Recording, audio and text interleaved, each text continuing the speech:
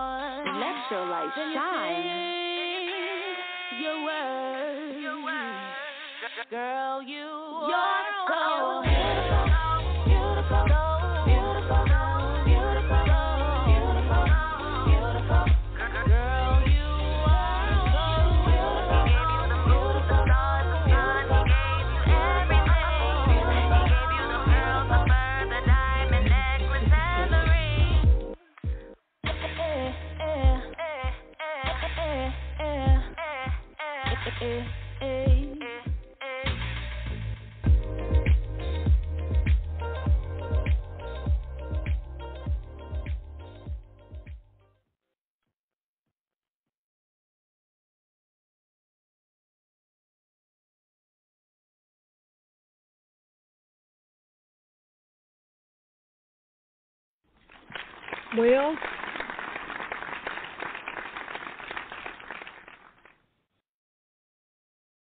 well, here we are again for another podcast. I want to thank you to our listeners for tuning in to the Jadasa Live podcast. I am Cynthia R. Bennett, your host. As always, I want to take a second to thank the owner of Elations Radio, Kimmy Kim, Miss Kimmy Robinson. Here on the Jadasa Live podcast, we talk about issues, stories, resources, events, and ways to eradicate abuse of all kinds in the community through education, edification, and encouragement. Tonight, I want to share something that is important to me, and I have taken notice with recent events as it relates to domestic violence deaths. But before we get started, I want to let our viewers know that we have four slots available for our summer pilot program called Developer. We have also lowered the ages to 9 to 19. 9 to 19. Where we would do a week's program on learning the basics of entrepreneurship and mobile app development. We will also talk about social issues such as healthy versus unhealthy relationships, self esteem issues, how we can raise our self esteem, and encouragement. The workshop is from 10 to 12:30 Monday through Friday, June the 14th through June the 18th. You can register at jadasa.org, J A D A S A dot O R G. We are here. We're going to be utilizing the CDC guidelines. We will be social distancing. We will be reaching out to parents this Thursday, letting them know about pickup, drop off, and pickup procedures because we want to make sure that your gyms are in, in capable hands, which they are, but we want to make sure we know who we will be sending them to. So we will be giving you that information and talking with you about that. And upon successful completion of the program, which having to attend all five days, the registrants will receive a certificate of completion and a $50 gift certificate. Also, this program again is a pilot, but we will be having it in the fall and the spring, and it will be consist of eight Saturdays in the fall. It will be eight Saturdays in spring, and in the summer we will actually go for four weeks, nine to two. So I want to make sure I get this to you. This is the last week for registration. It's closing this Friday, so I want you to be sure to secure your spot. Amen. So, as I said earlier, tonight I want to talk about a demographic group that is overlooked during times of tragedies of domestic violence, death of a loved one, of that, and that is fathers. And I thought about that because of a recent rally I attended of a lady, young lady, and her kids. And everybody was there talking, and they allow, you know, everybody to talk that wanted to talk. But then the father spoke, and then the uncle spoke. And I heard their grief, I heard their pain, I heard the hurt in their voices. And I thought about, you know, wow, you know, we we rarely we rarely single out the fathers. We know, you know, mothers and you know, everybody is painful. Everybody is is hurting, is painful. And you know, Father's Day is coming around the corner. And I thought about that because I was doing something and I said, "Wait a minute. Father's Day is coming up." And as I was talking earlier, that we don't often give fathers the rap or the recognition that we often give mothers. You know, look at the difference in the holidays. Mothers, everybody's going out, restaurants are full, packed, I mean, just everything. And we do for our fathers, but it's not on the same level as the mothers.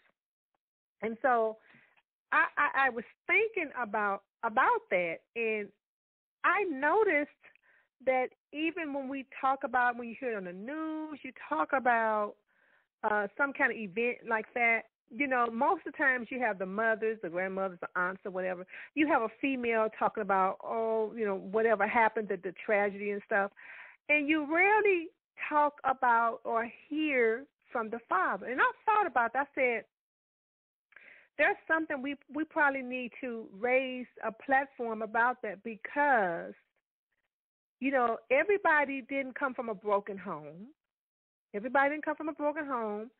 Um and even if they did have a broken home or if they didn't live with their fathers, there are some men who have relationships with their daughters, who have relationships with their nieces, who were stepfathers, who were uncles, who was fathers standing in the gap, who was godfathers, whatever title that they had that they carried for that child, that relationship with their child.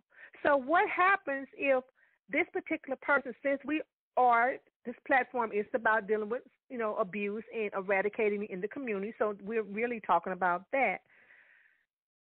But what happens when that child is taken away? The mothers we you know we we feel the pain or hurt rightfully so but the fathers do too. But they don't have the space to deal with the trauma. As I was telling someone, trauma is not gender based. It's not because you're a woman, you it's okay for you to fall out, it's okay for you to lose it because you're a woman. But society has told men, and we're part of society as well, because before this rally, I didn't think of it. I, I never gave it a second thought. It just never occurred to me that men, fathers, suffer trauma just as well. But society hasn't given them a space. They still have to keep the family together. They still have to be the quote unquote strong one. They still have to make sure that food is on the table, a roof is over our heads, or you know, if they're not living with you, they still have to make sure you good, you good. Everybody has to be good. They got to make sure everybody's good. You okay? But they're falling apart on the inside. They go through as well. Because guess what? Father's Day is coming up. And I thought about that with this particular person. Their grandkids and their daughter. Father's Day is coming up. Don't you think that they will feel some kind of way. They will feel some type of void. They will feel some kind of loss because those people are not physically there, just like the way we would feel if it was Mother's Day. Why is it that society, we as well, because we're part of society and we have done it as well. I'm calling myself on the carpet as well. Why is it that we have not allowed them that space to grieve? Why is it that they have to always show strength? Why is it that society has made them feel if you cry, if you if you fall apart, if you you know just lose it like some of us do, then they want to peg you as weak. They want to peg you as henpecked. They want to peg you as, as they say, uh, uh, spineless. They want to peg you as something that you're not, all because you had a moment. So our men don't have the chance to have a moment. They don't have a chance to grieve their daughters because everybody don't have estranged relationships. I was a daddy's girl. As I was telling someone earlier, it was six girls and three boys in my family. All six of us felt like we were daddy girls because he made us feel that way. He was in the house with us. I felt like I was his special. And when you listen to my other sister, she felt like she was his special. We all felt that way. So I can't imagine if, as a matter of fact, I didn't imagine because I had a sibling who passed before my father. But guess what? we rallied around mama. We rallied around each other, holding each other up. Now, my dad, strong man, five feet six inches tall. He wasn't tall at all, but strong man. But I don't remember, in my recollection, I don't remember us rallying around him like we rallied around mama because that was his child too. Another situation I thought about, and this is just in my personal family. My niece and her husband, they had buried their only child, a nine year old from cancer, their only child. Now, we rallied around both of them. We was there for all of them. But I don't remember, not because we was biased to her, because she was our niece.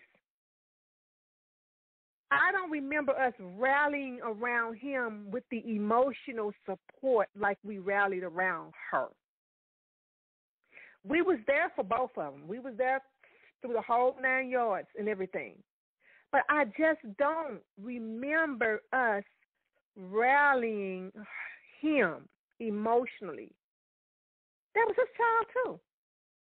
He lived, they were married, they lived in the same house. He was there with her. He even had to put her on the gurney when she passed. He was there. But we don't, we as society, don't give our men, men, the space to grieve. We haven't done that. And that really came to light to me during this rally. And then the fact I thought about Memorial uh, Father's Day, and I was like, oh, okay, Father's Day coming up. You know, it just snuck up on me, and I thought about why is that? Because every holiday, every milestone, if they didn't make the graduation, they should have been a graduate. They should have graduated from college, or they should have been married. He deals with all of that milestone. He deals with the void as well,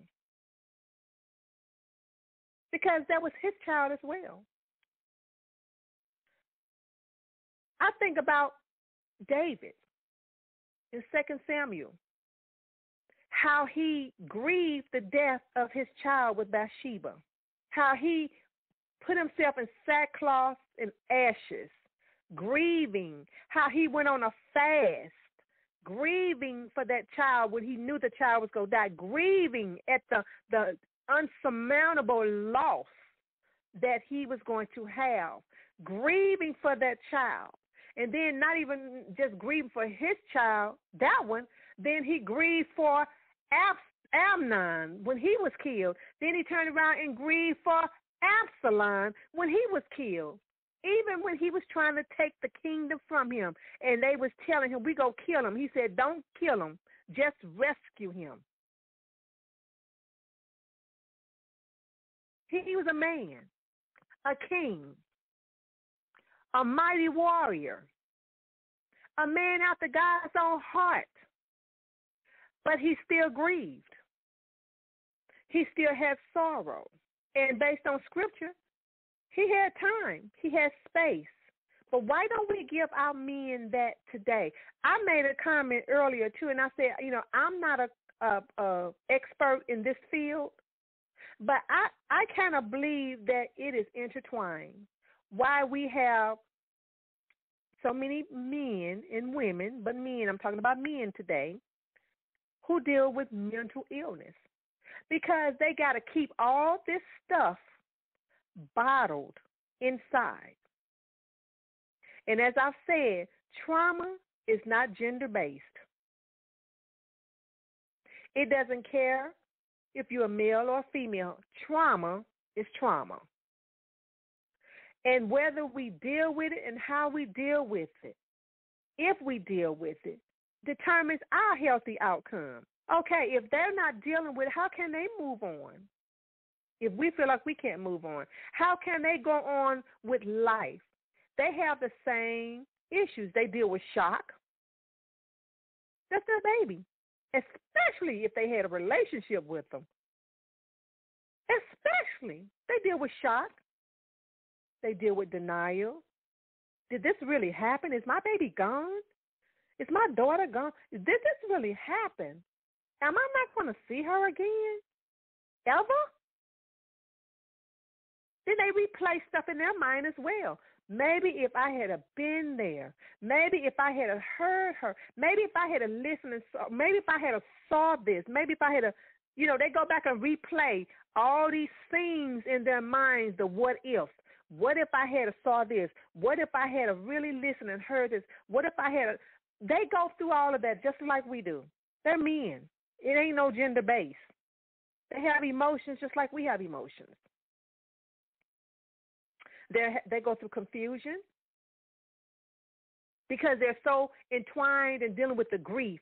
Not only with the grief, they got to still go to work. They still got to deal with the rest of the family. They still got to put on this show of strength. They got to show all of this, and, and, and, and while they're still grieving and toe up from the flow up on the inside, and then they're confused. You know, confusion can set in. You know, what was I doing, or where was I going, or what? You know, you know. Sometimes we have to backtrack to figure out, okay, wait a minute, what was I getting ready to do? And you have to backtrack in your mind to go back to, and then I'll, oh, this is what I was getting ready to do. They go through that as well. They deal with the guilt, the fact that I wasn't able to be, I wasn't able to be there to protect her, uh, or, or, or to keep her from this, or I wasn't there. I'm the protector. I was supposed to protect. They go through that. And certainly they go through powerlessness, they feeling like they're powerlessness. They're powerless because they can't bring them back. They can't change the situation.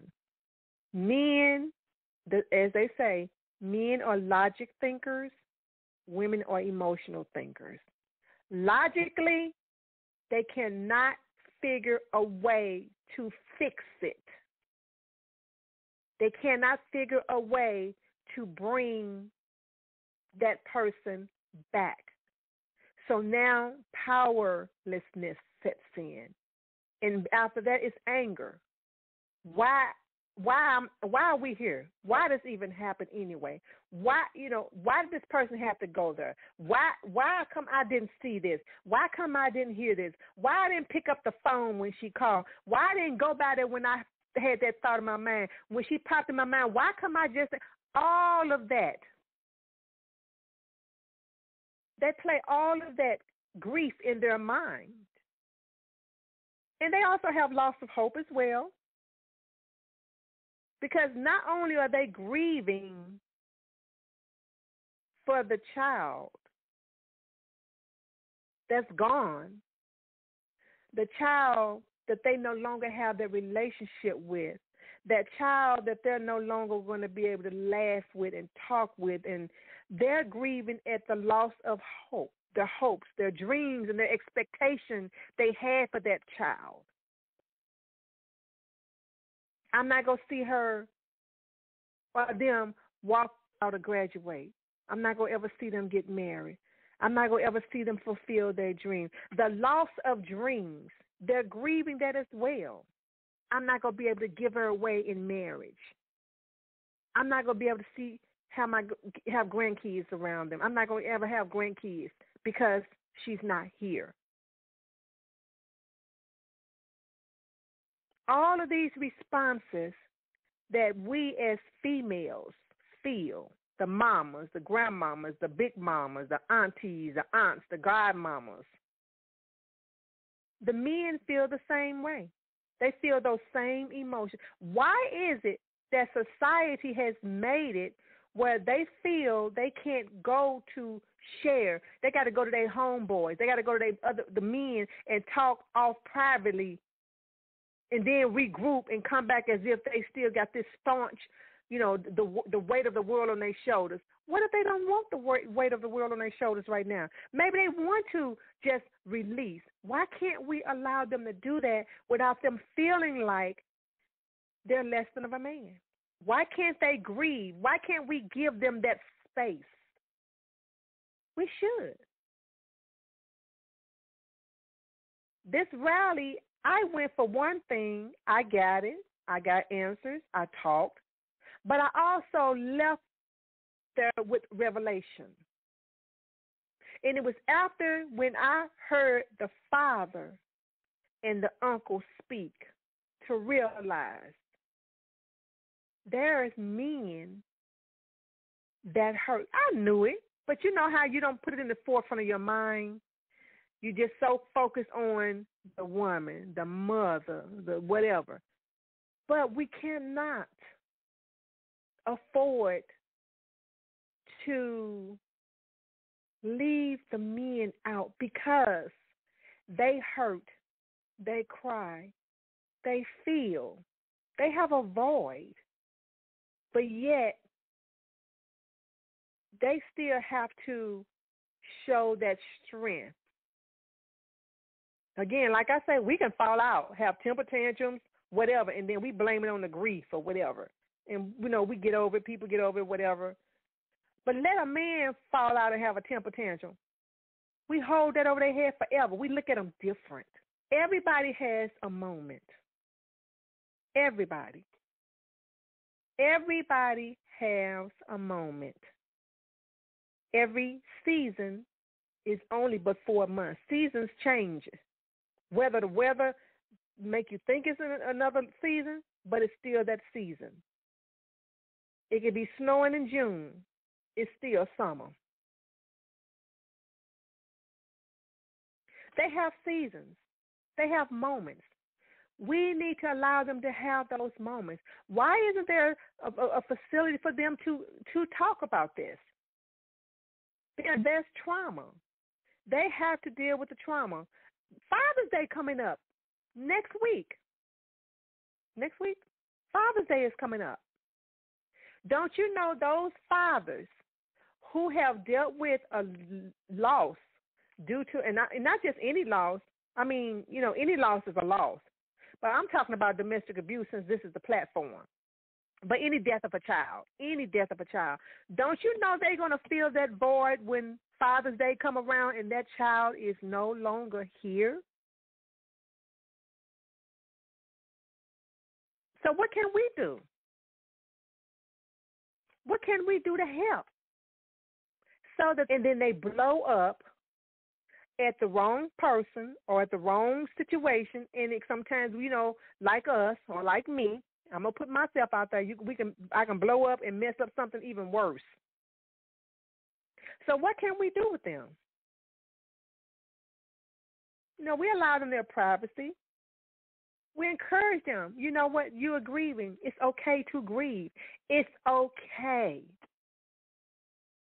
sometimes they just need to hear that it is okay. Grieving is part of the process. Get it out. You don't want to keep it on the inside because if you keep it on the inside, that's when sickness comes, disease comes, stuff like that festers, doubt, hatred, resentment, unforgiveness, all of that, all of those emotions are breeding grounds for sickness and disease. So we need for them to be able to have that space. We need for them to be able to be vulnerable at that time so they can release. I tend to think that there is a correlation between that and mental illness. That's just me personally. Like I said, I will talk with some other people that I am, uh, you know, in close contact with who familiar with mental illness to get that because I think there's a correlation here. You got to get what's on the inside out. Why don't we allow that for our people, for our men, our fathers, our grandfathers, our uncles, our goddaddies, our stepdaddies, our cousins, the men in our families. Because when mama passed, I'm sure my brothers felt the same pain I felt. But they couldn't release the way we release because society society has us thinking that the man is supposed to always be strong. Everybody is not strong 100% of the time, all of the time. I don't care how cold you put glass in the refrigerator. I don't care how thick that glass is. You put in hot water, hot water long enough, it's gonna shatter. So we, as I close, I, I wanted to bring this out in the community because Father's Day is coming up. There's going to be some fathers who are grieving because they baby, they baby girl is not here. Their grandkids is not here. That daughter that they was close to is not here. So they're going to have a void, just like we would feel a void. They're going to have some emotions, just like we have emotions. They're going to have some feelings of resentment and hurt and loss. And some of them probably want to just want the day to hurry up and come and go because of the trauma that they probably are still currently dealing with or have have dealt with. For Father's Day, I wanted to acknowledge the men, fathers, grandfathers, all of you all in your respective positions. I want to acknowledge you and let you know I see you. I support you. I encourage you. I'm asking God to comfort you because fathers grieve as well. And as I said earlier, trauma is not gender based. I want you to be well. I want you to be whole. Remember, it's Jadasa 24 7, 365 days, all day, every day. And with that being said, good night.